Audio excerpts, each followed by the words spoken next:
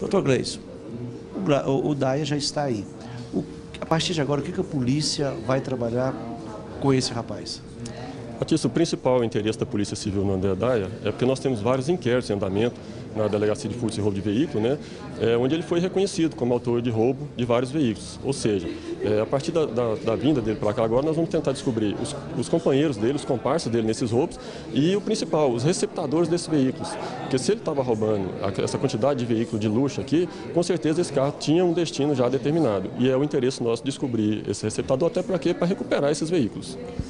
Delegado, ele estava preso e os furtos de veículos continuam, né? É, como é que está essa situação? O senhor acha que tem participação, mesmo eles estavam fora do Estado?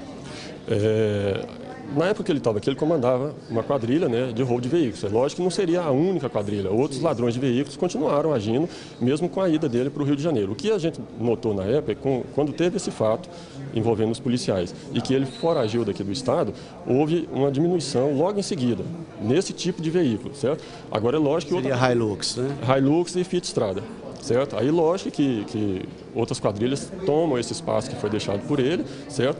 E, e, e a, a, polícia trabalha constantemente na tentativa de localizar também esses outros elementos que estão praticando roubo. Mas ele é bom de conversa. O senhor acredita que ele vai abrir tudo? É, pela conversa inicial que nós já tivemos com, com o André, é, de ontem para hoje, né? Ele já demonstrou até assim é, interesse em colaborar com as investigações, certo? Ele já conversou informalmente com a gente, já mencionou alguns nomes, algumas pessoas, tudo, e a partir de agora nós vamos ouvi-lo formalmente nos inquéritos, né, na tentativa de desvendar esses crimes aí.